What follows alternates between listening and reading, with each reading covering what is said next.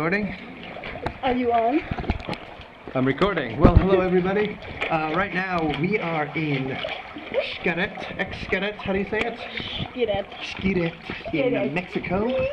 We did an excursion through the ship, and uh, right now uh, Nicole, Nicole talked me into doing the underground river, secret river ex- experience, which so far has proved to be um, exciting, um, scary. Don't look down. Don't look down. You swim through periods of darkness in a tunnel underground. So the Mayans did this. But as you can see, as I uh, just kind of show the camera around, this is kind of what it looks like. It's very nice. It's definitely recommended. It's just horrifying. Now, right now, it's a stick.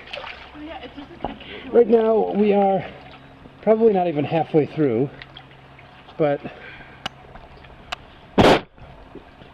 we got 1,800 187 feet left before we get to the end.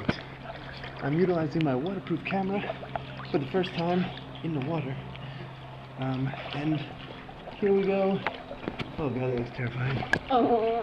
That's where we're going into now. Bring your waterproof flashlight. Okay. So this is going to be us for now. We'll be back after these messages. Hopefully.